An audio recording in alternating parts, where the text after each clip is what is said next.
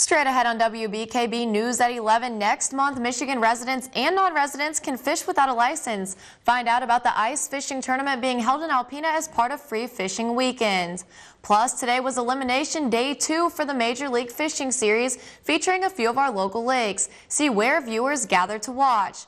And 30 people were honored tonight for taking control of their health. See whose story was most inspirational. We'll have those stories plus your local weather and sports. WBKB News at 11 starts now. From Rogers City to Tawas City and all points in between, this is Northeast Michigan's award-winning news team. Your source for news, weather, and sports. We are WBKB News at 11. State Representative Peter Pettalia of Presque Isle has been selected as a Michigan representative for the Great Lakes Legislative Caucus. Good evening, I'm Ashley Reed. The group of lawmakers from eight U.S. states and two Canadian provinces focuses on Great Lakes protection and restoration issues. Pettalia quotes, Lake Huron is critical to the economy and lifestyle in our local communities and the Great Lakes to Michigan as a whole. So it's a real honor and opportunity to be able to serve state residents in this capacity.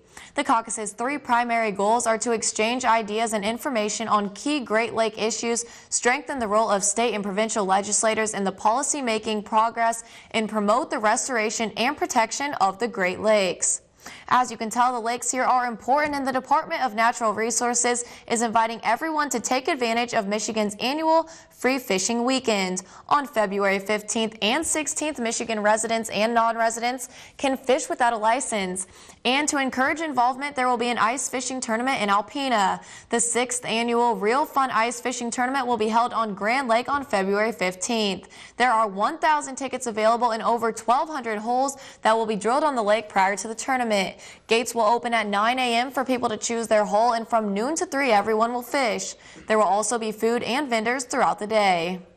It just gets people to go out there and enjoy it with their family. Because I think a lot of, you know, a lot of adults will go and fish, but they, you know, they don't bring their kids. They don't bring their wife, you know, maybe it's there. They don't go as a family. And I think when you have free fishing, it's the one time that you can do it as a family without having to buy a license to find out you won't use it again. Prizes will be determined by fish weight and time registered. This year's first place winner will get a new John Deere Gator. In addition the to the tournament, there will be a real fun Festivus for the community at the Aplex the night before. The party will include cocktails, a pasta bar, raffles, and a DJ. All money raised will go to benefit the River Center, whose mission is to build a healthier Thunder Bay habitat and promote stewardship through environmental education and research. For more information about the tournament or for ticket information, just visit www.icefishingalpena.com. And speaking of fishing, the 2014 Major League Fishing Series filmed in Alpena continued today on the Outdoor Channel. Today was elimination, elimination day two as bass anglers compete to win the General Tire Summit Cup. The series features Northeast Michigan's own Hubbard Lake, Grand Lake, and Long Lake. Latitudes Tavern and Fletcher Street Brewing Company are serving as official viewing parties every Saturday as each new episode airs. Latitudes has been raffling off gift certificates from Jimmy John's and Fresh Palette during commercial breaks. Last week they had a mad rush of about 60 people for the premiere, and today people continued to pile in. It's a good reminder that we do have some really, really good bass fishing in this area. Um, something that these professional bass fishermen are finding out, you know, this last summer. So to see that on national TV, it's a good reminder that we, we do have that asset uh, for, for recreation. And I think that's something that being on the national stage like this, being on national TV, uh, could even bring in some tourist dollars. A new episode will air every Saturday from 3 to 4. There will be an official viewing party for the championship episode February 8th at Northern Lights Arena. Throughout the year, Bay Athletic Club in Alpena has shared inspiring 60 seconds of inspiration stories. And tonight was a celebration for those who have taken control of their health. Tonight was the fifth annual fitness-inspired gala held at Art in the Loft. This year's theme, Stories of Triumph. There were 30 success stories honored tonight and about 130 people in attendance. We realize that people are inspired by other people's stories. So we created an event annually where we can share the triumph in people's stories and let them get up and share how they've shed weight, how they've shed insecurity, how they found strength, new friends, new health And it's just a night to just celebrate taking control of your health. Amanda Freeland and her husband were part of a 60 Seconds of Inspiration story three years ago, both of them losing more than 30 pounds. Freeland is now a fitness instructor at Bay Athletic Club. We just ended up happier, healthier, our relationship got better, and so we were asked to be a 60 second inspiration story, and we were so honored. And it just felt amazing to be included in the community, and we ended up meeting so many people because of that. Tonight, the audience voted for who they thought had the most inspiring story in 2013. That honor was awarded to Maya Weinman, who has lost more than 180 pounds in less than two years. She won $500 in BAC bucks and a new Under Armour jacket. A new comedy has come to Alpena Civic Theater, and the director says it will keep you laughing. Things My Mother Taught is about a young couple who runs into all kinds of roadblocks as they try to move into their new Chicago apartment together. The show is written by Katherine DiSavino. I'm sorry. So far, it's been a fantastic opening. I'd love to see 150, but you know, with the weather the way it's been, we've got to understand. So, this is a tough time of year to do a show. Alpena Civic Theater has been around since 1955. It is run by a group of volunteers interested in giving their time to put on shows for the local audiences.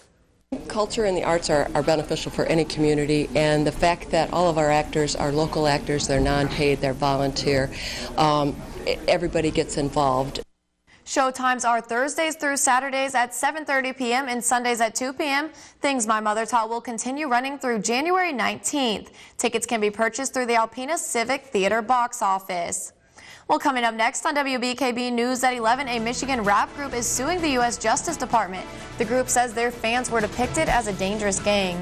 Plus, U.S. workers are staying at the same job longer than they used to. Those statistics after the break. Thanks for joining us. In state news, the Insane Clown Posse rap group is suing the U.S. Justice Department over a 2011 FBI report that depicts the rap metal's duo's devoted fans, the Juggalos, as a dangerous gang. The American Civil Liberties Union filed the lawsuit Wednesday in Detroit federal court on behalf of the group's two members, Joseph Bruce or Violent J and Joseph Utsler or Shaggy 2 Dope. In this country, we have the right to listen to the music we want and associate with fellow fans without being subjected to harassment or criminal profiling. Three times police have stopped me on the street and asked me questions about my shirt, my tattoos, and what being a juggalo meant. The police kept saying that my tattoos and shirt meant I was a gang member, even though I told them I was just a music fan and that juggalos weren't a gang. It also names four fans as plaintiffs. In your Money Watch, contrary to popular belief, U.S. workers are staying at the same job longer than they did in the 1980s. According to new labor statistics, U.S. workers remained at the same job for 4.6 years as of 2012. That's compared with three and a half years in 1983. The trend appears to hold up across all ages and genders. Experts say the numbers suggest American workers are stuck in a rut and staying in their jobs longer rather than looking for new job opportunities. Big banks are set to report quarterly earnings this week. We'll hear from JP Morgan Chase Tuesday, along with Wells Fargo. JP Morgan has recently agreed to pay a total of about $20 billion to settle several federal investigations, including a probe relating to the Bernard Madoff scandal. And on Wall Street, stocks took a disappointing unemployment report in stride Friday. The Dow slipped about 8 points, but the Nasdaq climbed 18. GasBuddy.com and AAA of Michigan put together local and state gas prices. The highest price for gas in Alpena is coming in at $3.35 at O-Pee-Chee's, down 7 cents from last week's last weekend's high. The lowest is 332 at Admiral. Highs and lows across Michigan pretty similar to last weekend's. The highest gas price is $3.79. That's in Canton. And the lowest price is coming in at $3.05 again in Detroit. There's still much more to come on WBKB News at 11. Jeff Cole will be in with a look at sports and some warmer temperatures, but with those temperatures came rain and then ice. I'll let you know if those temperatures are here to stay this week. Stay tuned for your weather forecast. Welcome back. It's time now for a look at our weather forecast. Today, the high was 39 degrees, the low was 33 degrees. Normal high for this day, 27 degrees. Normal low is 12 degrees, so we were quite a bit warmer than normal. Record high for January 11th, 50 degrees. That was back in 2012. Record low, 20 below, back in 1984. Sunrise this morning around 8:11 and sunset this evening around 5:14. Taking a look at the current conditions here in Alpena, currently 32 degrees, west winds around 12 miles per hour, making it really feel like 21 degrees outside. And we are having an issue, it looks like, with our satellite and radar. So we'll go ahead and move into tonight. As you know, most as of most of you know, if you went outside at all today, we got a lot of rain that turned into ice and then some snow showers too. That wintry mix is going to continue into tonight. A chance of snow and some freezing rain before 1 a.m. Low of 25 degrees, west winds around 15 miles per hour. And then into tomorrow, mostly sunny, 36 degrees for our high west winds around 10 to 15 miles per hour. And moving into tomorrow night, a chance of rain and snow. This is after 1 a.m., however, 31 degrees for our low south winds around 15 miles per hour. And taking a look at the week ahead in our extended weather forecast, for Monday, we have a chance of rain and snow showers before 1 p.m., then that turning into snow showers, high of 34, low of 14. Warm temperatures kind of continuing throughout the week. I don't know if I should say warm, but obviously warmer than we've seen recently.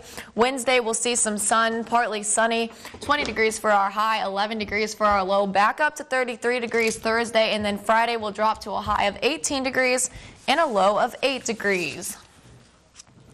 And now it's time for today's photo of the day. Today's photo was sent in by Jan Herring. She took this photo earlier this week on North Partridge Point Road in Alpena. She says as the sun was getting low in the sky, the trees were glowing gold. How beautiful. I don't know if I've ever seen anything like that. Thank you, Jan, for sending us this photo. If you have a photo you would like to send us, just email a photo along with a short description to news at WBKB11.com. Your Health Watch, a new report shows most doctors never discuss alcohol use with their patients. The Centers for Disease Control and Prevention says at least 38 million Americans drink too much alcohol. And while most are not alcoholics, excessive drinking can cause health and social problems. There are several different patterns of problem drinking. One is binge drinking. A second is heavy drinking throughout the week, averaging more than two uh, per day for men, more than one per day for women. Researchers say screening and counseling can reduce a binge drinker's consumption as much as 25%. Another CDC report shows cases of lung cancer dropped between 2005 and 2009. The rate fell more rapidly for men than women. The American Lung Association says the figures prove tobacco control efforts are working. And an experimental device is showing promise for sleep apnea. The implantable device called Inspire provides a mild electronic stimulation to the patient's upper airway during sleep to help prevent the tongue from collapsing and blocking the airway. Researchers say a year after the device was implanted, patients experienced fewer interruptions during their sleep. In national news, more bad news for West Virginia residents. It could be several more days before they have clean water. CBS's Alexa Christoforous has the latest on the chemical spill. As West Virginia's governor handed out bottles of water, thirsty residents learned they're not out of the woods yet. The water is still not safe to use and may be too dangerous to drink for several more days. This is a large system and it requires a significant amount of testing and sampling to ensure that we get the data that's needed for those experts to then to be able to make a decision. Laboratory testing has found the water in nine West Virginia counties with nearly 300,000 people is still not safe. The danger began Thursday in a storage unit at the Freedom Industries plant. A chemical used to process coal leaked into the Elk River about a mile upstream from the state's largest water treatment plant. The spill forced residents to scramble for everything from drinking water to a clean shower. Some motels like this American Inn have fresh water and are helping out. I called ahead and they weren't busy and uh, we worked today and got pretty dirty and, and so I came on down and, and they were very, very uh, helpful. Residents will have to find ways to cope for a few more days before the dangerous chemical is flushed from the Elk River and the water is clean enough to use again.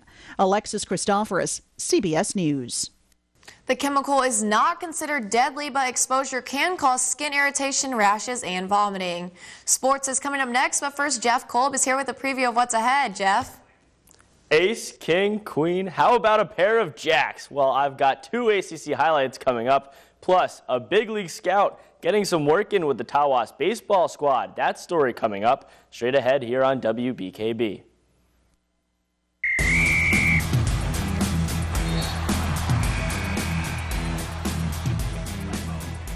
Coming into today, the ACC men's and women's basketball teams were winless in conference. But with Kirtland in town, the Jacks were hoping to heat up and have the Firebirds go ice cold. Park Arena was packed tonight. We start with the women, and the Jacks were zipping the rock all over the place in the second half. Sandy Bischoff nailing the jumper in the corner.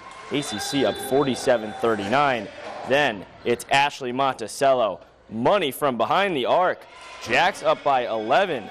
So where is Kirtland? Well, Joe Hamlin hits the three, but the issue for the Firebirds, they only have five players in uniform. So the Jacks, they just keep on running. Bischoff and Megan Barkley perfecting the give and go as ACC notches conference win number one, 59 to 44. Former Mio Thunderbolt Micah Tommy and the Firebirds hoping to spoil the late game for the Jacks.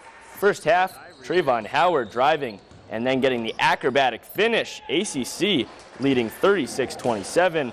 Firebirds heat up in the second, though. Jeremiah Williams with the putback right there. Kirtland now down by four, but Alpena with some wide open looks. Logan Wickert, t t today, Junior. Jacks on top 50 to 45. Then Stephen Shepard right here. You're going to see him get the low hook in the post as the men take care of business, business as well.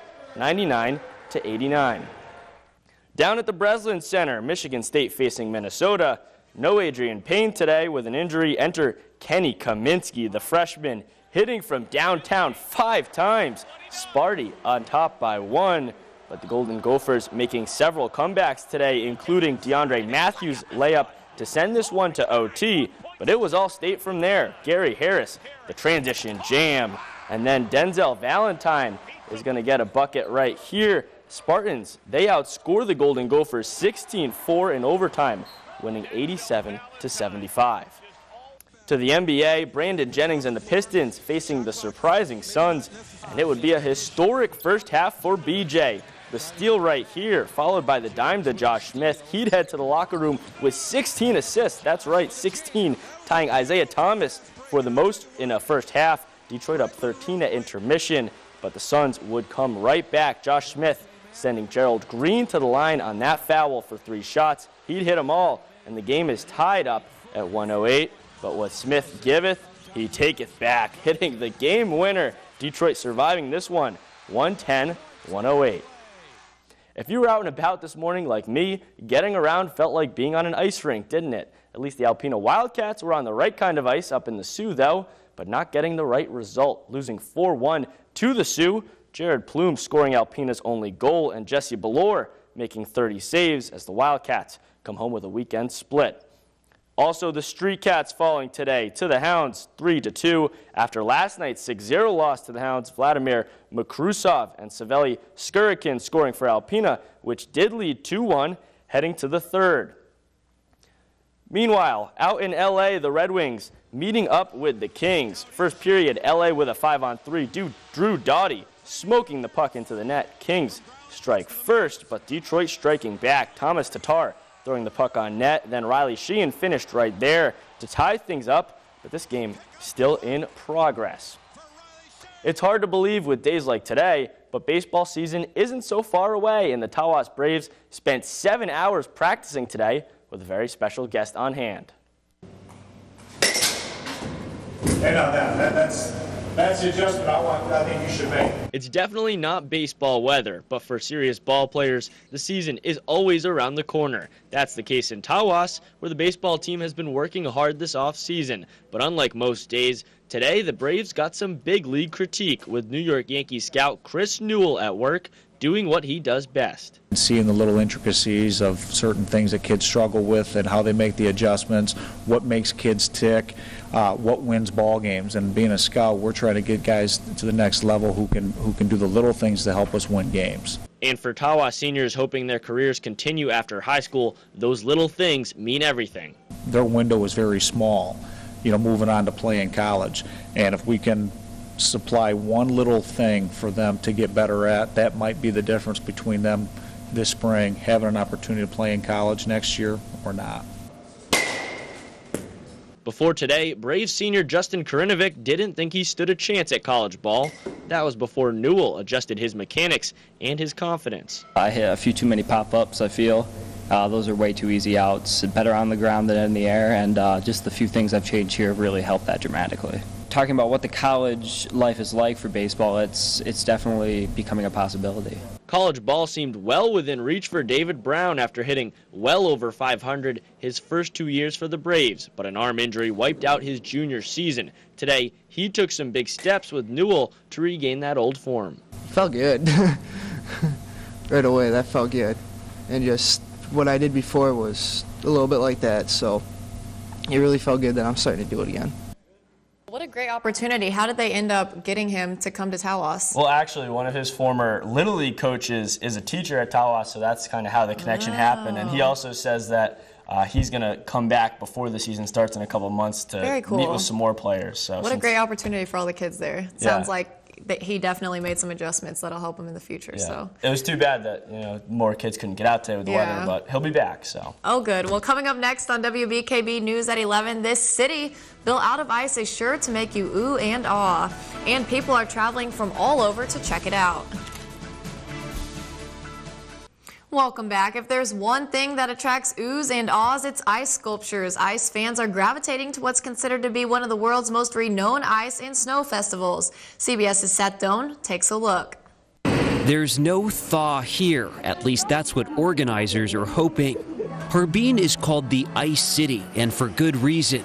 Every year, for 30 years now, it's hosted an ice festival, making the most of its bitter Siberian temperatures by building a mini city out of ice. American Michael Morgan lives in South Korea and flew to China just for this. It's really cool to see everything made of ice. We were walking on the river today, and you could see them pulling out the, the giant blocks. The frozen solid Songhua River provides the essential ingredient. There's plenty of it. It's minus 11 Fahrenheit today, which is about average, but that does not stop visitors. More than a million people are expected to turn out to see the spectacle. That's absolutely amazing. Kristen Ing and Alex Clark are two of them. The replica of the Colosseum is just amazing. I was in Rome earlier this year, and it's almost better than the actual Colosseum in Rome. Don't say that. The Italians will kill you. 7,000 people worked to put this together, using enough ice and snow to fill nearly 200 Boeing 747 cargo planes. There are ice slides, ice temples, and even an ice Empire State Building. If you tire from seeing too much of it, mom can just drag you home. Wait, so that, that wasn't Alpena? I don't know. I think I'm it could have been Alpena today, Yeah. except not not the, the impressive ice No, here in Alpena. That was magnificent. I don't know how they do that. Yeah, some very cool structures there. The the Rome one and all those. And the lighting makes it look even more fabulous. and the horse too, making it out there on the ice. So Uh huh. And I think. I think I'd have to go on the slide uh, if I was there. I would I'd agree with that. I would do that too. Looks like a fun time. And this ice festival, it begins on January 5th. The end date isn't so certain. Pretty much whenever the weather gets warmer, the whole city just melts away. So, So pray fact. for cold weather for that, Yeah. then, I guess. So. and remember, you can read more about our broadcast stories and get the scoop on more news items online. Just visit WBKB11.com for sports, weather, and news updates anytime, day or night. or add us on Facebook at facebook.com slash. That's all we have for you tonight. Be sure to tune in again tomorrow night at 11. Jeff will have all of your updates from the world of sports, and I'll be back with your nightly news. Have a great night.